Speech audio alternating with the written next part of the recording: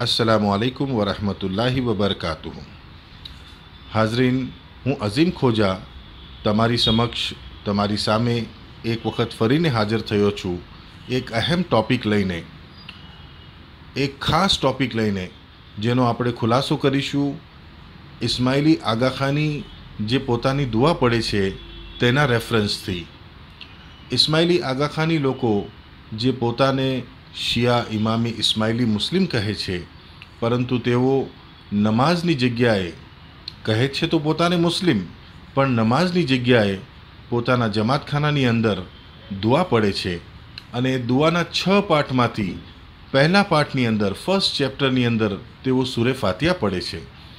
સુરે ફાતિયાની અંદર ઇસ્માઇલી હઝરાત જેવી રીતના સુરે ફાતિયા છે, એની અંદર પડે છે કે ઈયા કન બુદુ વ ઈયા કનસ્તાઈન અહીંયા ઇસ્માઇલી હઝરાત અલ્લાહને અલ્લાહ સાથે કમિટમેન્ટ કરે છે કે ઈયા કન બુદુ વ ઈયા કનસ્તાઈન કે ઓ અલ્લાહ, અમો ફક્ત તારી જ ઇબાદત કરીએ છીએ અને ઓ અલ્લાહ, અમો ફક્ત તારાથી જ મદદ ચાહીએ છીએ. આ અલ્લાહ સાથે એક કમિટમેન્ટ કરી રહ્યા છે કે અલ્લાહ, અમે તારા, તારી જ ઇબાદત કરીશું. અને ઓ અલ્લાહ અમો ફક્ત તારી જ મદદ માંગીશું. બીજા કોઈની મદદ નહીં માંગીએ. પરંતુ જ્યારે પોતાની બંને દુઆ પૂરી થાય છે, ત્યાર પછી ઊભા થઈને ઇસ્માઇલી લોકો આગાખાની લોકો જ્યારે દુઆ માંગે છે, ત્યારે પોતાની દુઆની અંદર પોતાના પોતાના ઇમામ પાસે દુઆ માંગે છે.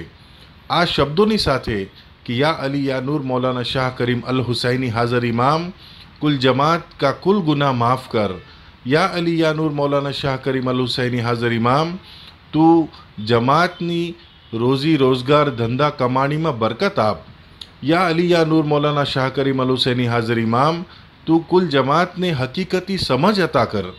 ન, અને કેટલી બધી દુઆઓ જે છે, એ આ વર્ડ્સની સાથે, આ શબ્દોની સાથે માંગવામાં આવે છે કે યા અલી, યા નૂર, મૌલાના શાહ કરીમ અલ હુસૈની હાજર ઇમામ.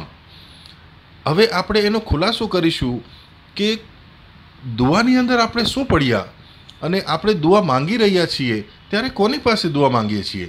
દુઆની અંદર તો ઇસ્માઇલી પડે છે કે ઈયા કન બુદુ વ ઈયા કનસ્તઈન ઓ અલ્લાહ, અમો ફક્ત તારી જ ઇબાદત કરીએ છીએ અને ઓ અલ્લાહ, અમો ફક્ત તારાથી જ મદદ ચાહીએ છીએ.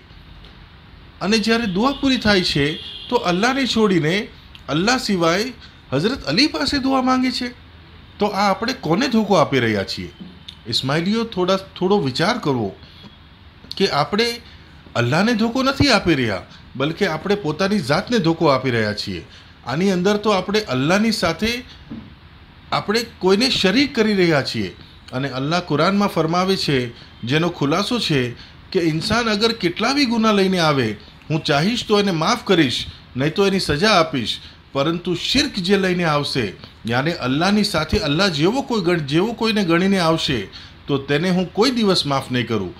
મારા ભાઈઓ બુઝુર્ગો અને મારા દોસ્તો, મારા વડીલો, શિર્કની અલ્લાહ તાલાએ કોઈ માફી નથી રાખી.